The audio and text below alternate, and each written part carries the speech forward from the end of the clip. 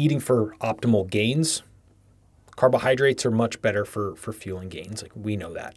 Uh, higher protein intake is going to help us maximize muscle protein synthesis signaling, and we really want to be hammering that mTOR pathway. I would say for optimal nutrition for longevity, we are going to want a little bit more of that AMPK pathway.